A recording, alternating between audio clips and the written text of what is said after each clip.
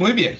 Entonces, eh, hasta el momento hemos hablado sobre qué son los neurotransmisores, vimos el proceso de neurotransmisión, los diferentes pasos asociados a la neurotransmisión, tales como la síntesis, el empaquetamiento, la liberación, la interacción con el receptor y la, y la eliminación de los neurotransmisores. Hablamos de que en cada uno de esos pasos se pueden hacer agonismos y antagonismos, eh, interfiriendo con los procesos de neurotransmisión para facilitarlos o limitarlos. Y hablamos de familias de neurotransmisores, de los colinérgicos, que es la acetilcolina, de los aminoácidos, que sería la, eh, la dopamina, noradrenalina, adrenalina, histamina, serotonina. Y llegamos hasta ahí. Ahora vamos a hablar de los de la familia de neurotransmisores llamada aminoácidos, ¿sí? O ácidos amínicos. Los aminoácidos son eh, moléculas, son los neurotransmisores más pequeños. Son los de mayor distribución en el encéfalo, o sea, la mayor cantidad de neuronas sintetiza y tiene receptores para aminoácidos. Los más importantes son el GABA, y el glutamato. GABA traduce ácido gamma aminobutírico. otros importantes son, por ejemplo, la glicina, el aspartato, la taurina, y hay otro, otro conjunto más de, de, aminoácidos. Vamos a comenzar hablando entonces del el glutamato. El glutamato, entonces, eh, va a ser el principal neurotransmisor inhibitorio eh, digo, excitatorio del, sistema nervioso central. Eh, este glutamato, la mayor parte de las neuronas, entonces las neuronas piramidales lo producen, son las que más sintetizan o las que más transmiten a través de, de glutamato. También otras neuronas, pero en especial las piramidales, ¿sí? que son excitadoras, son las principales neuronas excitadoras de, la, de la, corteza y del encéfalo. ¿Vale? Eh, la mayor parte de las neuronas tienen receptores.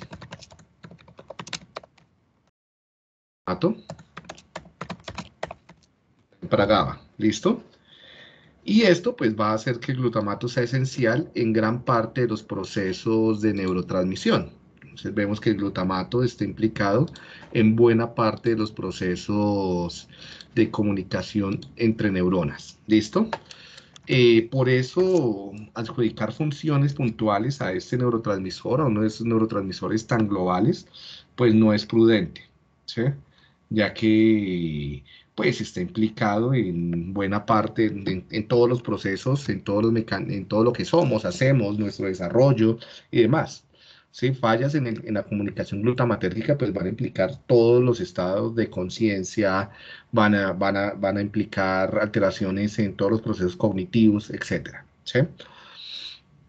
En general, el glutamato tiene, participa enormemente en los procesos de plasticidad cerebral, entonces está involucrado enormemente con los cambios plásticos en el encéfalo, principalmente con la formación de nuevas sinapsis, Sí, entonces eh, la, formación de sinapsis, de dendritas, de asociaciones entre neuronas depende enormemente de la sinapsis glutamate, de, la, conectividad o la, neurotransmisión glutamatérgica.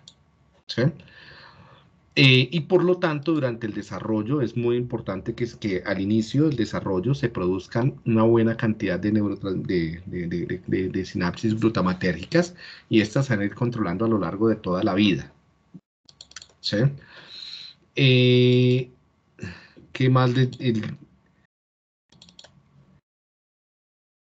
alteraciones en, la, en, la, en los receptores del glutamato, alteraciones genéticas, por ejemplo, pueden conllevar a serios trastornos de, de desarrollo y del aprendizaje, puede conllevar a problemas tales como epilepsias, autismo, y también, eh, y sabemos también que, por ejemplo, el glutamato está involucrado, en, así como está involucrado en procesos de plasticidad cerebral a través de la producción de nuevas sinapsis, eh, dado que algunos de sus receptores son canales de calcio, ¿sí? entonces también facilitan procesos de neurodegeneración y de neurotoxicidad. ¿sí? Entonces, haciendo que el funcionamiento del glutamato sea bien, bien, bien disperso.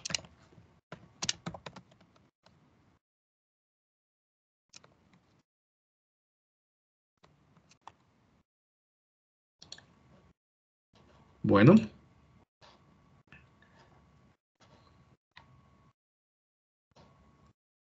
Por lo general, entonces, en muchos de esos procesos de neurotoxicidad mediados por el glutamato, que implican de alguna forma la mitocondria. ¿sí?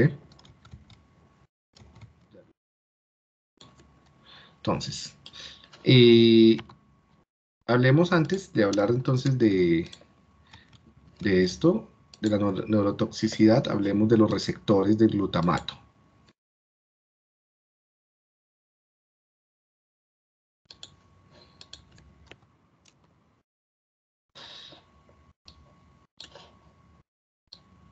Bien, entonces, el glutamato tiene tres tipos de receptores. Son los receptores eh, NMDA, que serán los más famosos, N-metil-aspartato, los receptores de cainato y los receptores AMPA. ¿sí? Eh, estos son receptores eh, ionotrópicos, es decir, son sensibles a iones. ¿sí? Cainato y AMPA principalmente para sodio y potasio, mientras que los receptores NMDA son principalmente sensibles para receptores de eh, para, para, calcio. Entonces son canales de calcio. Eh, y el receptor metabotrópico será el receptor M-GLU, el metabotrópico de glutamato, ¿sí? como lo vemos acá. Entonces, del receptor NMDA podemos decir que es un canal ¿sí? que, está, que tiene un tapón de cloro, que para que ese tapón de cloro pueda llegar a ser liberado, se necesita una despolarización y por lo general esa despolarización es causada por la apertura de otros canales, tales como los canales AMPA, ¿no? Entonces se necesitan canales AMPA para que se puedan abrir los canales NMDA, ¿sí? Y cuando se abren los canales NMDA, pues eso va, eh, eh, ingresa calcio y ese calcio va a causar diferentes cambios dentro de la célula, ¿no? Entonces, por ejemplo, puede hacer que se activen los genes que producen receptores AMPA y hace que haya mayor sensibilidad al, eh, glutamato en la célula posináptica, ¿sí? Si se amplían, si se crean mayor canales eh, de glutamato, pues entonces eh, aquí va a haber esto... un segundo. Cambia la cantidad de canales de glutamato, pues entonces va a haber una mayor sensibilidad al glutamato liberado por la célula presináptica. ¿sí? Miremos aquí estas animaciones.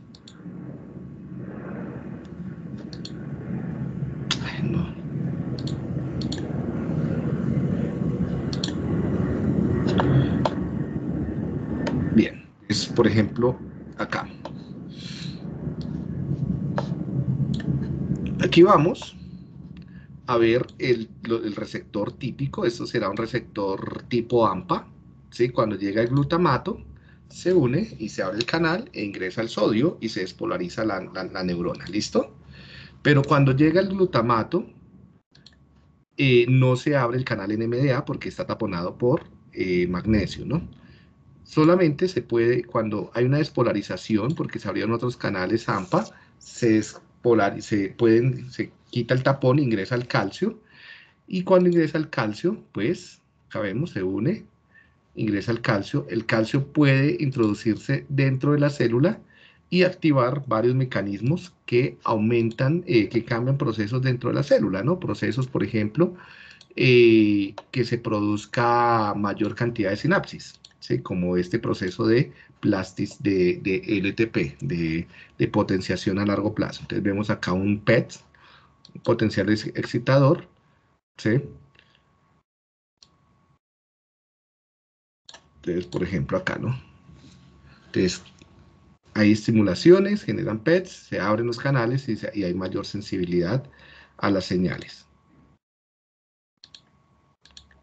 Entonces se crean nuevos botones sinápticos entre más botones, pues más sensible a la célula presináptica. Que es todo lo, esto lo que nos está diciendo, ¿no? Cómo se va sensibilizando la célula a través de ese proceso de potenciación.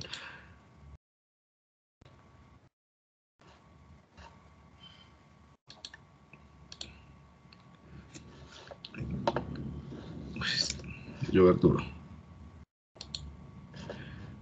Bien, entonces el receptor NMDA, los receptores NMDA van a facilitar enormemente los procesos de aprendizaje y plasticidad cerebral, la formación de nuevas sinapsis, la formación de nuevas habilidades, la conectividad entre neuronas, principalmente a partir de, las, eh, de, fortalecer la conexión entre neuronas. ¿sí? Esto está muy lento, les quería mostrar con mayor eficiencia, pero acá está como lenta toda la explicación del libro de Carson. Retornemos al menú. ¿Sí?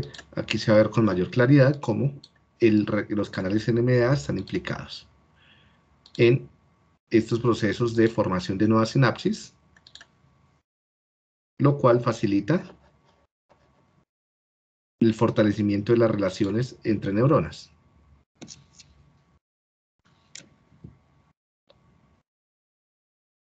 ¿Listo? Eh,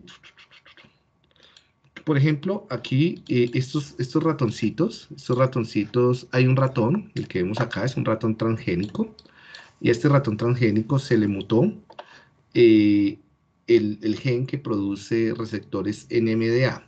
Al producir mayor cantidad de receptores NMDA, este ratoncito que estamos acá siguiendo, ¿sí?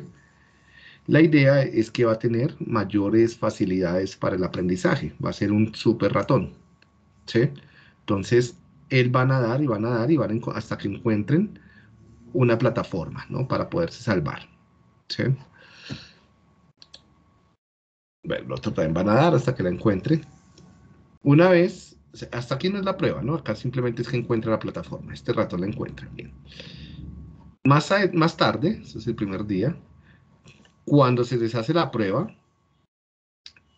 vamos a ver que el ratón transgénico es un ratón súper inteligente que sabe de una vez dónde estaba la plataforma. El otro le cuesta muchísimo aprender, o sea, va a necesitar más ensayos, más tiempo para aprender cómo salvarse.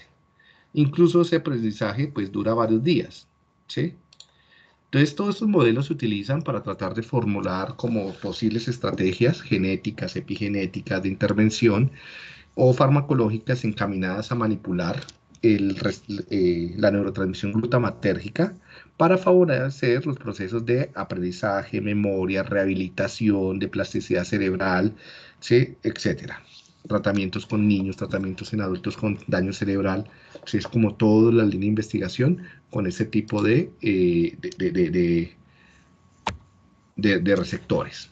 Aquí vemos de nuevo el receptor, entonces vemos el receptor NMDA, el receptor tipo AMPA, eh, y cómo eh, pues estos dos están asociados ¿sí? al proceso de potenciación a largo plazo. Entonces, una neurotransmisión típica, cuando ingresa el calcio, el calcio va a ir, va a activar genes que, para que se produzcan más receptores del glutamato, tipo AMPA. ¿sí? De tal forma que cuando se libere el glutamato, esta neurona postsináptica va a estar ampliamente sensibilizada al glutamato liberado por la neurona presináptica. ¿sí? O sea, van a ser más parceras, más amigas. Mientras que en el otro proceso, que es la depresión a largo plazo, sucede lo contrario entonces, el calcio que entra a través de los receptores NMDA hace que se hundan los receptores, puede ser para glutamato, puede ser para otro neurotransmisor, neurotransmisor haciendo que la neurona postsináptica se vuelva más insensible a la célula presináptica, ¿no? A partir de esos dos mecanismos es que se controla el desarrollo y la formación de los circuitos neuronales y en últimas el desarrollo de todas nuestras habilidades emocionales, afectivas, cognitivas, etc. Muy bien. Eh, algunas drogas como la ketamina, por ejemplo, pueden bloquear el receptor NMDA, impidiendo que haya neurotransmisión eh, a través del glutamato, ¿no? Además, la ketamina se sabe que es una droga que es capaz de eh, alterar los estados de conciencia, generar como ciertos tipos de alucinaciones, es, una, es un alucinógeno, psicosis, ¿no? Alucinaciones sensoriales. Entonces antes se utilizaba como anestésico. Muchas personas usan la ketamina como droga recreativa también, ¿no? Eh, no es para que la prueben, sino simplemente contarles. Esa ketamina se ha visto que puede producir efectos bien extraños, por ejemplo, percepciones cercanas a la muerte, o sea, como si eh, se me, asemejando un poco lo que le pasaría a una persona que está pronta a morir, y básicamente es porque cuando el cerebro está muriendo, la neurotransmisión a través del glutamato se ve seriamente alterada, generando como esa visión de túnel, la sensación de estar dejando el cuerpo, ¿sí? Eh, y otras alteraciones como de paz y cosas por el estilo. ¿Alguna pregunta?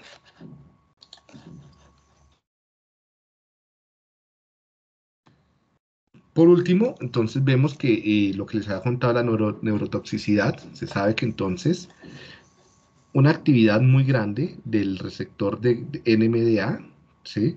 puede hacer que las células entren en eh, falla mitocondrial, en falla energética, y comiencen a generarse procesos de eh, apoptosis, suicidio o necrosis, y pues eh, generarse una, cascada neurodegenerativa. ¿sí? Entonces también es peligroso esta, esta neurotransmisión porque fácilmente puede llevar hacia eh, enfermedades neurodegenerativas como el Alzheimer, el Parkinson, la esclerosis lateral amitrófica y demás, donde las neuronas comienzan a morir por neurotoxicidad. ¿Sí?